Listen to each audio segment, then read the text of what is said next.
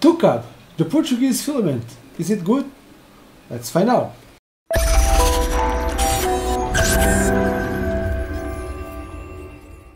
Hello everyone, welcome back to our channel.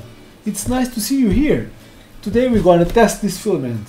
In one of my search on internet, I have found this filament. I contacted the Tucab, was immediately available to submit the filament to test and review. Let's unbox the filament and see what is inside. The filaments are well packaged, have a nice box, are sealed in the vacuum package. It's nice to prevent uh, or remove moisture and preserve the filament quality.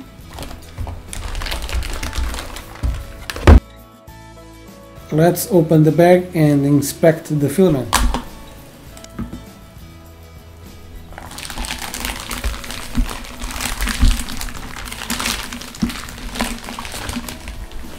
I noticed the filament have a nice color. This is a nice orange. The filament are well weeding. Let's insert the filament on the printer and print our Benchy.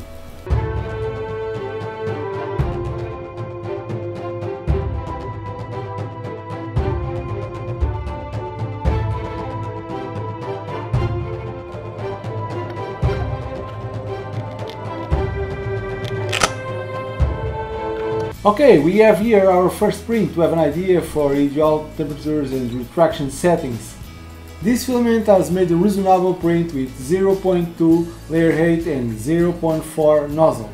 I used it on a bed 55 degrees and 185 degrees on the nozzle. And I have no problem to make the print. Let me show you the print I have done. I made this print with my CR10 at 60 mm per second you can see the color is very opaque and uniform. There is any kind of stringing or even hangings. The filament gave off an innocuous smell while printing. The filament has a good adhesion on the build plate. We have here a good first layer. Until now, in my opinion, the filament has made a reasonable print. But let's move to the large prints and see the results.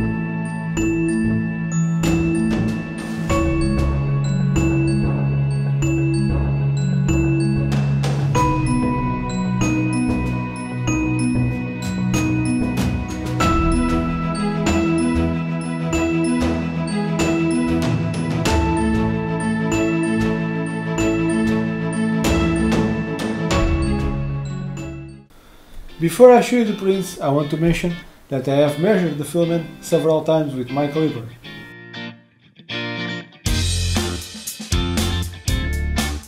And you notice the filament have a consistent diameter.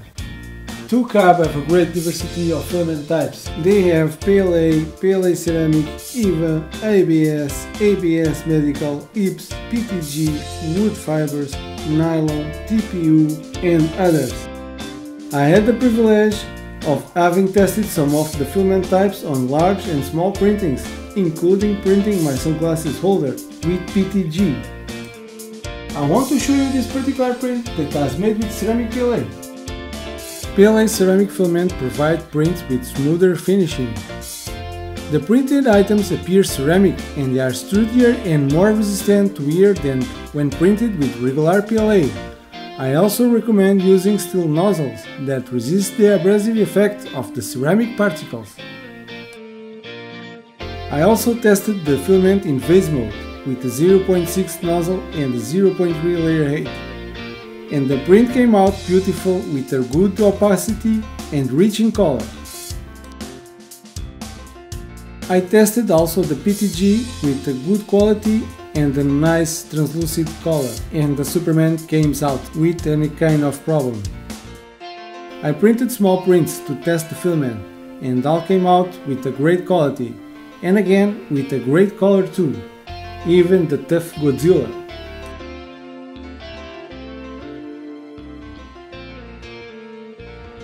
ABS has been tested too. It has never been easy to print ABS as with this filament. The print came out without any lamination and in perfect condition. And that's it! In my opinion, the filament did a great job without any problem. In this price range, these filaments are great. If you already tested the filament, leave the comment below. I want to know your opinion about it. I want to send special thanks to Claudio Coelho that sent me the filament to test. And one more time again, there is no kind of payment to make this review. This is my honest opinion about the product.